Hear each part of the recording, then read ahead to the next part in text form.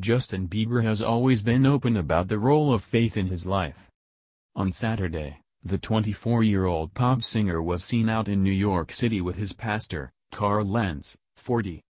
The sorry singer has leaned on his spiritual advisor in recent days as he has reportedly been seeking treatment for depression. Justin was dressed for the chilly northeastern weather with a large red, white and blue down jacket. He augmented it with a navy blue beanie and a pair of royal blue sweatpants. Carl also opted for sweats, going with a white hoodie and dark blue pants. He wore a black leather jacket over top and had on a pair of cream-colored boots. The Love Yourself singer seemed to have a downcast look on his face as he followed Lentz.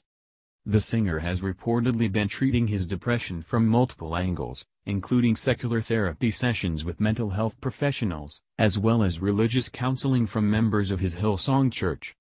The evangelical place of worship originated as an offshoot of an Australian megachurch. The church also has a Los Angeles-based location. On Friday Justin was seen in New York City with his wife Hailey Baldwin, 22, as the two made their way to a joint counseling session. The songwriter looked notably more upbeat in the presence of his smiling wife. He even joked around with photographers, pointing out his $1,500 Louis Vuitton slippers and his golden medallions. Hailey has been an essential part of him seeking treatment for mental health issues. The fashion model spotted some of the symptoms of depression after he began sleeping longer than usual and had trouble getting up in the mornings, according to an insider who spoke to Entertainment Tonight. One of the reasons Hailey knew he needed more help was his sleep patterns, revealed the insider.